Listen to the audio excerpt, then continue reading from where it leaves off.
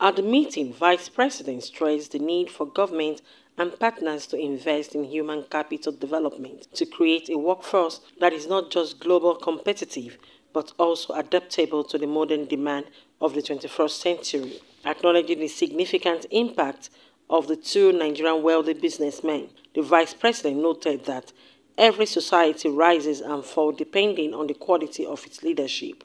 Earlier Minister of Health and Social Welfare, Professor Pate, noted the current efforts the federal government has made in putting people at the center of the renewed hope agenda of the Tinubu's administration, even as he underscores the importance of investing in human resources. The government of President Bola Ahmed Tinubu is very keen to ensure we harness Nigeria's human capital, its population, so that they are of high quality to drive economic growth and will benefit the private sector as well as the public sector. So all of us have vested interest in that.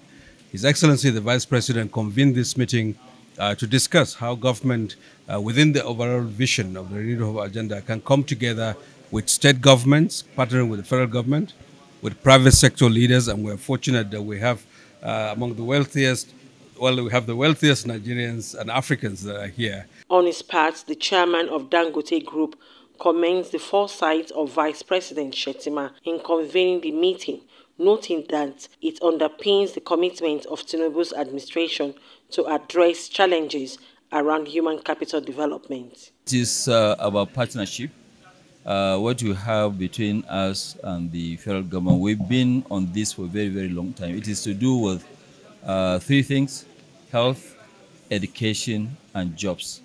And I think uh, Professor uh, Fati, Honorable Minister, of Health and Coordinating Minister, we started with him right from the beginning. He was the person that actually championed the elimination of this polio, right even from the beginning.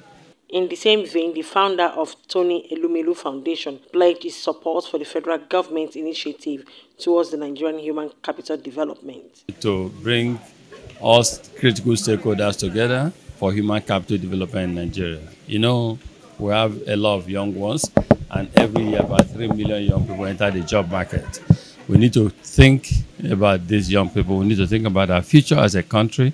We need to prioritize our young ones. We need to develop them. We need to give them economic hope and opportunities so that we can collectively develop and then say no to extremism.